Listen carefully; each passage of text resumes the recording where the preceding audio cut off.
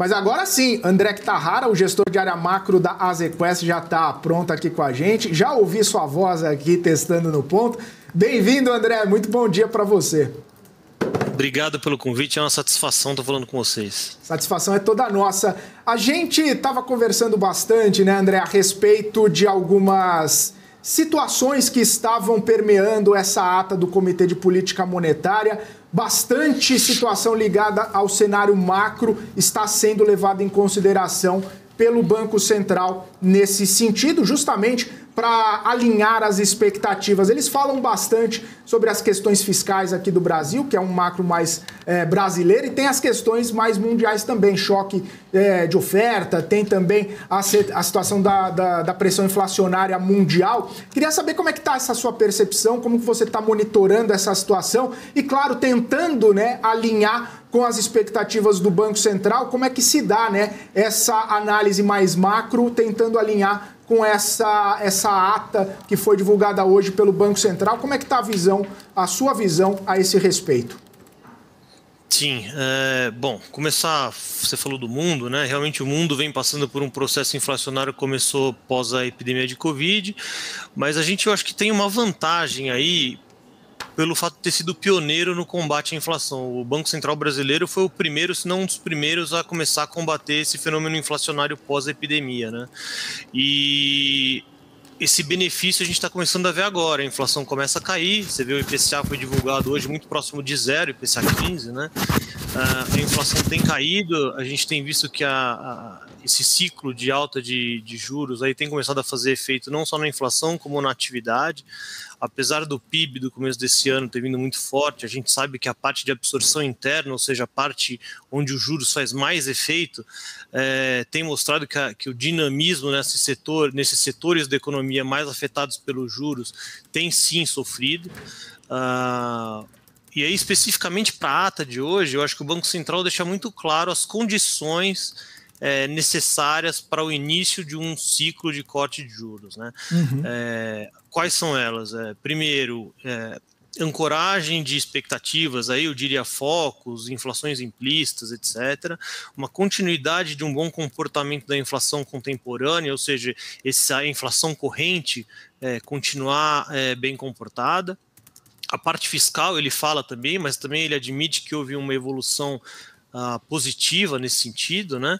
E quando ele fala de mercado internacional e o, o processo inflacionário lá fora, ele fala é, em dois pontos, né? O primeiro da parte de uma certa rigidez ou uma demora para a inflação cair lá fora, mas a gente também tem que colocar no contexto de que os países centrais, aí, vamos dizer, Estados Unidos e Europa, demoraram muito mais para combater a inflação do que o Brasil, então é razoável de esperar que a inflação lá caia também é, é, tarde, mais tardiamente. E outra consideração que ele faz, é, falando no mercado externo, é até onde os juros caem, né? Quando ele fala de taxa de juros neutra, que ele, ele é, muda ali a opinião dele de 4% de taxa de juros real neutra para 4,5%, ele cita fatores externos, né? Ele diz que ele acha que o, o, juros lá fora vai o juro real lá fora vai ser um pouco mais alto, impactando o nosso juro neutro real aqui também um pouco para cima.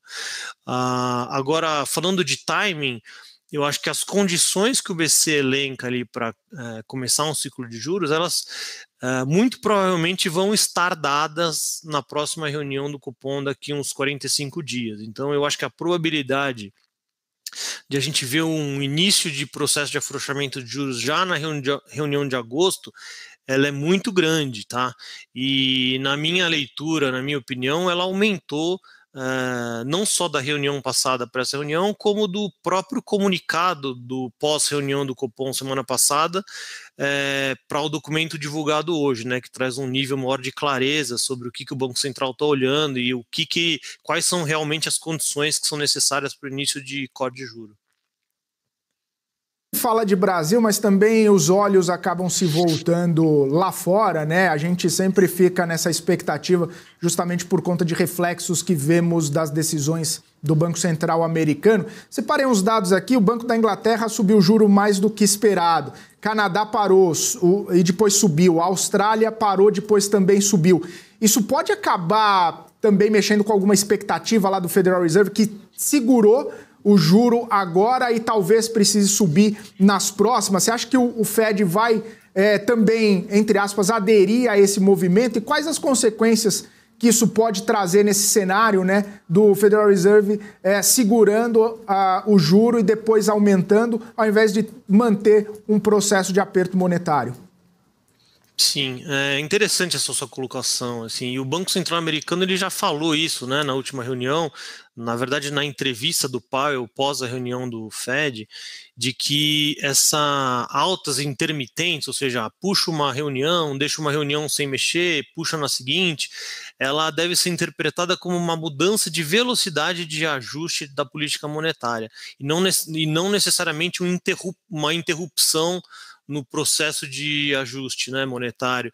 Então, assim, o mercado já precifica né, novas altas de juros futuras e de forma intermitente. Né? Você vai ter na próxima reunião uma de 25 totalmente precificada, depois algo tem algo próximo de 50% de chance de uma outra alta de 25, ou seja, o mercado hoje precifica algo perto de 0,30, 0,35% é, de, de alta de juros até o fim do ano, né?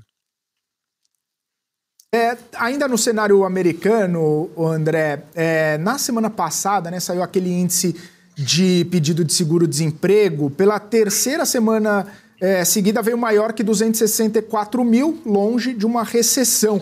Você acredita que esse número deve subir suficientemente para gerar é, essa desaceleração na economia americana, de repente até uma uma recessão, uma leve recessão e segurar a inflação, é, porque com os números do pedido de seguro-desemprego parece que não está gerando, entre aspas, a crise necessária para segurar essa inflação. Né? Muita gente ainda no mercado, mercado bastante aquecido, e aí colaborando com esse cenário de juro que você comentou na resposta anterior. Sim, é interessante é, essa sua colocação. Realmente o Banco Central, tanto que o, Banco Central americano revisou né, os DOTs lá, as perspectivas de alta uhum. de juros futuras para cima na última reunião, e eu acho que isso é um pouco reflexível da, da resiliência da economia americana. Né? A economia americana ela tem se mostrado mais resiliente a altas de juros do que antes imaginado. Uhum. É, tanto que as revisões altistas de taxa terminal de juros americana elas têm sido sempre para cima. Se você pegar numa janela aí de vários meses ou semestres, a gente vem passando um processo de revisão altista de taxa terminal de juros nos Estados Unidos. E uma coisa importante de deixar muito claro é que o processo de é, de ancoragem da inflação e de derrubada da, da, da, inflação americana no que tange a parte mais uh, ligada ao ciclo econômico, ou seja, é, a parte mais ligada a salários, a serviços, etc., ela passa necessariamente por um desaquecimento do mercado de trabalho e não é a velocidade com que isso tem ocorrido até agora ela tem sido é, muito aquém do esperado a, a, o setor de, de, mercado de trabalho americano tem desaquecido de forma é, mais lenta do que o esperado e até por isso o Banco Central tem revisado aí os seus juros para cima recentemente Ô André, quero agradecer sua participação aqui conosco. Obrigado mais uma vez pelo seu tempo, sua disponibilidade. Seja sempre muito bem-vindo aqui na nossa programação. Até uma próxima. Obrigado. Um abraço. Tchau, tchau. André Kitahara, gestor da área macro da Azequest.